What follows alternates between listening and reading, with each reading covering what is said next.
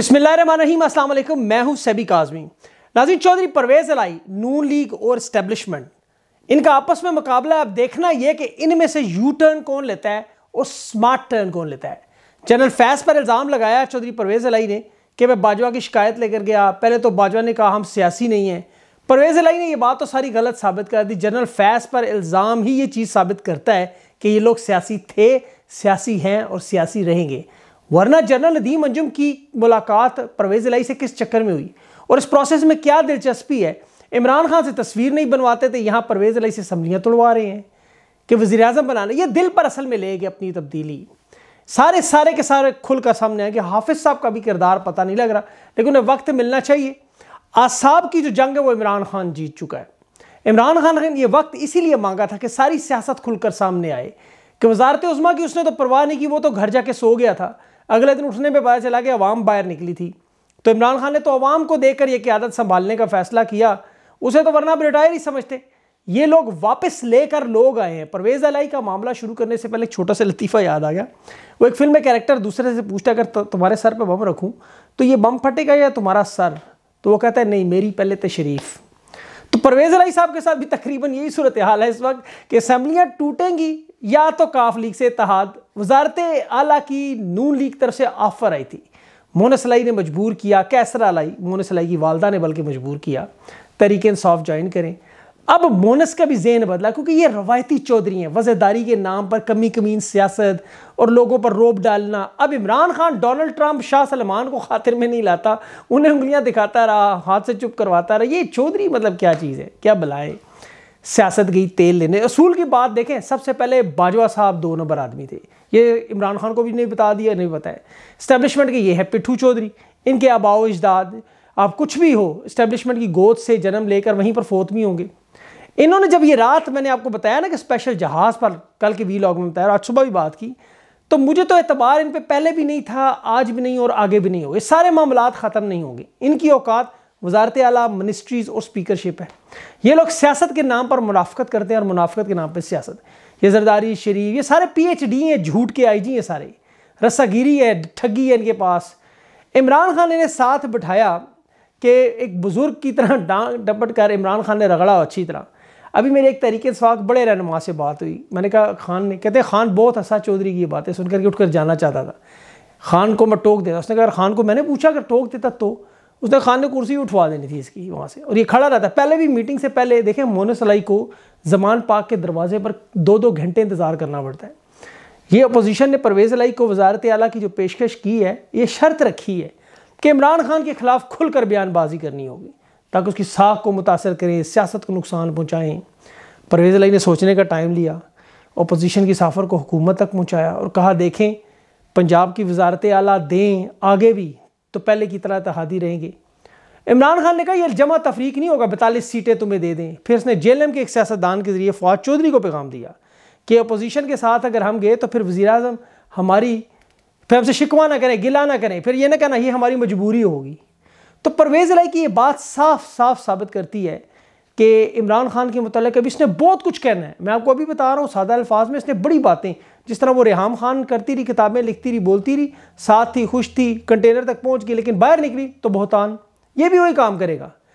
इनसे सपोर्टर भी तंग है वर्कर भी तंग है। इमरान खान के नाम के सदक़े की इन्हें सीटें मिली, कौमी असम्बली और पंजाब असम्बली में। वज़ादारी के नाम पर इन लोगों ने कोई गिरा हुआ काम ऐसा नहीं छोड़ा। अदम अतमाद के दौरान चौधरी शुजात और मोन सलई परवेज़, इनके भांजे भतीजे ये अपना वज़न बढ़ाने के लिए गेम करते रहे, कभी इधर गाड़ियाँ लेके भाग रहे, कभी इधर भाग रहे। इनकी सियासत में चौधरी जहूर लाई का इन्होंने नाम बस डुबोना है। और ये इनकी अपनी शादियाँ इस उम्र में तोड़वाएँगे। मेरी बात याद रखिए कि मैं आपको बड़ी इंपॉर्टेंट बात बता रहा हूँ। इनकी वालदा बहुत बड़ी फ़ैन है खान की। जितना मर्ज़ी बड़ा चौधरी हो, घर में घुसते ही अपनी औकात में आ जाता है। खैर, छोड़ो इस बात को। एहसान फ्रामोशी बाजवा ने की। एहसानात चौधरीों पर हैं। चौधरी ना भूलें। उनकी पंजाब में सियासत, मरकज़ में सियासत। इमरान खान की जूती की वजह से खुद सीरियसली इनके अपने अल्फाज थे जो मुझे एक बड़े क्लोज बंदे ने बताए। उन्होंने किसी के सामने बात की थी दूसरी तरफ़ परवेज़ लाई को यह भी पता है कि कुछ भी हो जाए उसे आइंदा पी टी आई कभी वजी अला नहीं बनाएगी। लिहाजा वो अपनी वजारत अला की कुर्बानी क्यों दे? वजारत अला की बरकतों से वो बाप बेटा मुस्तफ़ हो रहे हैं इस वक्त। आज ये महरूम होने को किसी सूरत में तैयार नहीं है। क्यों छोड़ें अपनी? ये इमरान खान को गिरफ्तारी से पहले डराते रहे, फिर बयान भी देते रहे, जान भी हाजिर है, ये भी हाजिर है, वो भी असम्बली तोड़ने के लिए ना ये तैयार होगा। और इसके अंदर खौफ भी है और ना ही इमरान खान को तोड़ने की कोशिश करेगा। मुकदमात, गिरफ्तारियाँ, इसे गारंटियाँ चाहिए। इसे पता है मैं वजारत आल सटा जब इसे दो लगी थी, वो आपको याद है क्या हाल हुआ। चौधरी परवेज़ अलाई असम्बली नहीं तोड़ेगा, काफ लीग के मम्बरान चौधरी शुजात के पास वापस जा सकते हैं। चौधरी बरदरान भी नून लीग पंजाब में इलेक्शन इन्हें सूट नहीं करता बिल्कुल। इमरान खान अक्सरियत के साथ पंजाब में वापस आया तो काफ लीग का किरदार तो वैसे ही फारग। ये सारी बातें ग्राउंड रियलिटी है। मोनसलाई ने इतराफ़ किया था कि अदम अतमाद के बाद उसे हाजी का फ़ोन आया, जिसके बाद उसने फैसला किया पीटीआई के साथ जाएगा। खुद कह रहा है अपने मुँह से और ये सनात, तुम पे है पीटीआई पे? कहाँ से आ गए? मोनसलाई ने खुलकर ये बातें की कि इमरान खान का ये फैसला है कि उसने क्यों परवेज अलाई को वजी अला बनाया। थोड़ा थोड़ा करके, अब देखिए मैं आपको अगर एक एक कर बात बताऊँ। सत्ताईस मार्च को साइफर इमरान खान ने लहराया तो बाजवा साहब को पता चल गया कि गेम अब आउट है। वो इमरान खान को ये बताना चाहता था कि मेरा कोई रोल नहीं है, मैं इसमें कुछ भी नहीं हूँ। परवेज लाई गया। परवेज लाई को एम क्यू एम को, बाप पार्टी को पी डी एम को, इन सब की तरफ़, वो दोनों तरफ़ बाजा विकेट के खेलता रहा। पी डी एम के साथ भी, इनके साथ भी। मोनस का ये इल्ज़ाम गलत बिल्कुल निकला कि जनरल फैज़ इमरान खान का कोच है और काफ लीग जनरल फैज़ के कहने पर आई, इसमें आई। जनरल फैज़ के कहने पर, इमरान खान पर, इतना बड़ा इल्ज़ाम था कि आप कह दें कि वो हिजाब में मतलब खैर हामिद मीर साहब हो गए या कोई भी, ये दड़ेले से बोलते थे।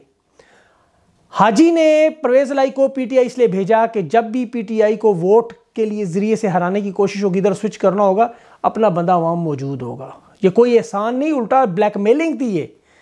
इमरान खान ने इसको, बाजवा को आउट क्लास किया और परवेज लाई को अपनी वजारत आला में अपना उम्मीदवार बना दिया। तो वो हाजी परेशान हो गया उस वक्त कि यार ये हुआ क्या मेरे साथ? ब्लैकमेलिंग के चक्कर में उल्टा काम उसका ख़राब हो गया। अब परवेज़ लाई को वो दरमियान में आके सेंटर में फंस गया। परवेज़ लाई के ख़िलाफ़ अगर अदम अतमाद आती है तो नून लीग के पास इतने वोट नहीं है कि वो अदम अतमाद कामयाब करवाएँ। लेकिन अगर नून लीग अदम अतमाद लाती है तो हैरान कन तौर पर पी टी आई इस अदम अतमाद में नून लीग के साथ वोट डाल देती है तो परवेज़ लाई फारग। फिर इसी सेशन में नया वजी अला का इंतखब होगा, जिसमें से पंद्रह नून लीगों पर पाबंदी है। और नून लीग के तहादियों की तादाद इस वक्त एक सौ बासठ। दस वोट मिलाएँ भी तो बनते हैं, एक सौ बहत्तर। अब पी टी आई के इस वक्त तकरीबन एक सौ नवासी मतलब एक सौ पचासी की अक्सरियत किसी के पास ना हो तो ज़्यादा वोट डालने वाला वज़ीर अला स्पीकर इनका पी टी आई का अपना है, deputy speaker P T I का है। इसीलिए इमरान खान का अपर हैंड, ऐसे कोई फ़िक्र नहीं है। स्टैब्लिशमेंट इमरान खान अलबत् आमने सामने, बिल्कुल। ये इमरान खान देखें, साफ़ बात है। ये परवेज लाई की जो वारदात हुई, ये साफ़ पता चल गया। फसाद की जड़ है ये लोग। इसमें कोई शक नहीं, कोई दो राय नहीं। ये किसी सूरत में जान छोड़ने को तैयार नहीं है। ये सियासतदानों के माबीन और स्टैब्लिशमेंट के दरमियान मुकाबला है। इमरान खान का मुकाबला अगर नवाज़ शरीफ और जरदारी उन लोगों से होता तो देखें, उनसे तो इमरान खान ने बड़े आराम से जीत जाना था।